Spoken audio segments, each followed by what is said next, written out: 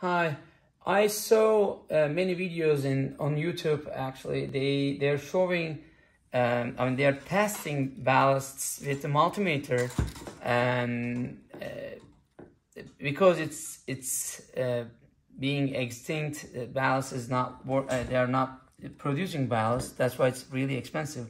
I tried to test. We have like bunch of um, ballasts in here, the old ones. Some of them are working. Some, I mean, most of them are not working actually. So that's why we try to uh, save some of them to fix um, those lights. Um, but on on YouTube, I check it out um, uh, how to test those ballasts, and I saw it. It's it's with the people are testing it with the multimeter, uh, which didn't work for me most of the ones uh, I know it's not working. I already wrote it down. Actually, it's not working. And when I test it, it, it, it looks good, but it's not. So that way I find a different way to test it, which is like, uh, um, it's really practical way. Maybe also, I mean, um, it, it, it took some time. What did I do? I just like bring the wires in here. It's connected to uh, it's not safe, first of all. I don't recommend that to do that. Maybe you find a different way, the safer way, I can say. Um, instead of like testing each one by one, I'm just connecting all of them.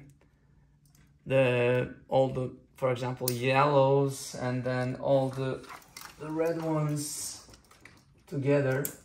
I use the uh, Wago uh, cable connector so in this position, what do I do is neutral and um, hot wire, I put it last. First, I put the neutral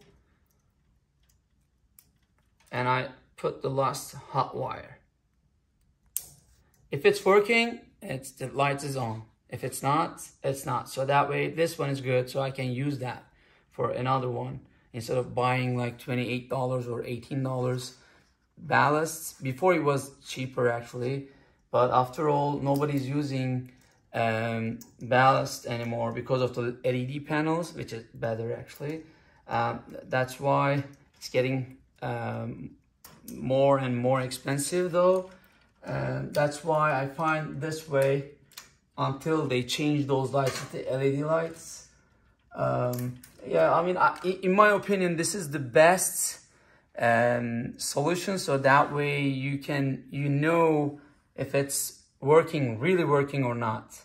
Um, you can try it but instead of doing this maybe you can have like um, a regular um, uh, fluorescent light um, uh, like for I mean whatever the size you're using. You can have like portable. You can make some like portable ones if you have like that much bunch of uh, ballast um, uh, used ballast so that way you can just uh, make the thing like this and then you can at the end you can just turn it on.